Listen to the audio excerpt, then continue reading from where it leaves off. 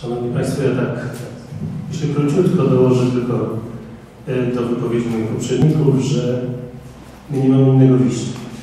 Strategia jest przygotowywana na kolejne 10 lat i nie chciałbym, żebyśmy się znaleźli w tej grupie, nie powiem, że bo, bo, na pewno każdy z nas miałby swoje pomysły, które chciałby zrealizować, e, ale wspólne działanie, wspólne pomysły, które, które rodzą się, bo tak naprawdę mamy również podobne y, pomysły i interesy.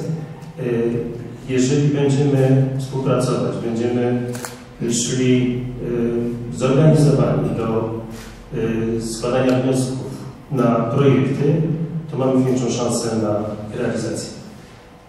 Tak jak tutaj Pan Prezydent pokazywał, powiat wadowicki jest właściwie nie brany pod uwagę ale my mamy te same problemy co Chrzanów i co Oświęcim. Nie wiem dlaczego. Też nie mamy, nie mamy bardzo niskie bezrobocie.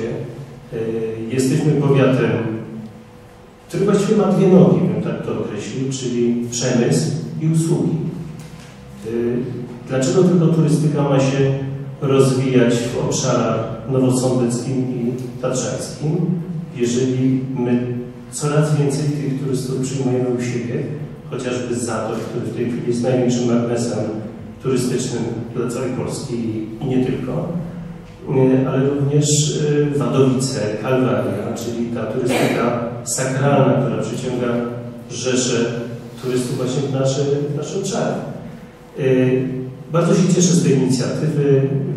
Myślę, że obecność no, połowy tak naprawdę włodarzy powiatu wadowickiego świadczy o tym, że jesteśmy bardzo zainteresowani y, tymi działaniami, tą współpracą i jestem przekonany, że po tym spotkaniu zaczniemy rozmawiać z osobami, które mają jeszcze jakieś wątpliwości, że ta inicjatywa jest y, z punktu widzenia interesów naszych gmin bardzo ważna.